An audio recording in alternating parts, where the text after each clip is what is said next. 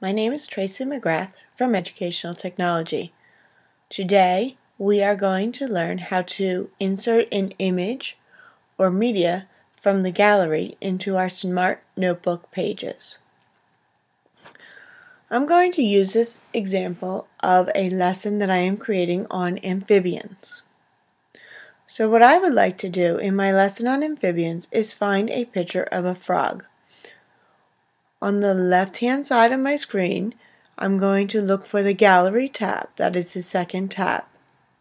At the very top of the tab, I'm going to type in, I'm going to do a search for a frog.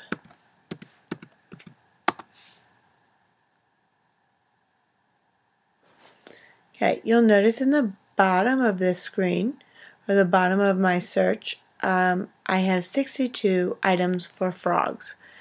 Of those 62 items, I found 36 pictures. So you see there are some clip art images here. There's photographs, there's tadpoles, there's froglets. Many options to choose from. I also have um, eight interactive and multimedia Okay, so let me show you this. What I'm going to do is I'm going to drag out the uh, the frog. So in the corner here, there's a small speaker icon. I can make that bigger so you can see it. So that means that if I click on this, I'm going to hear the sound of a frog.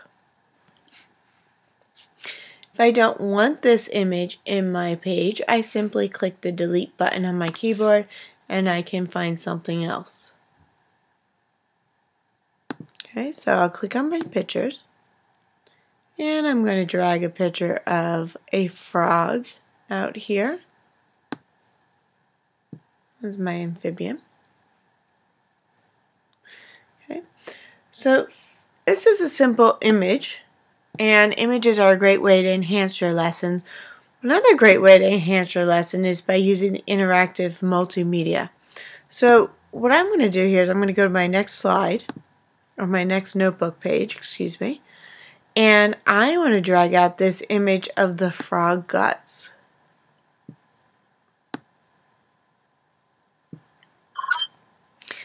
This is actually a flash activity um, that was created by www.frogguts.com that when you move it out here, it allows you to do a virtual frog dissection.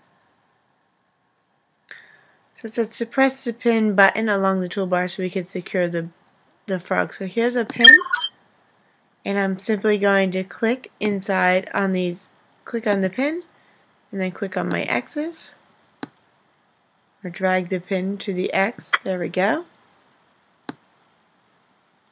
And now I have a completely interactive activity that I can use with my students to simulate a frog dissection.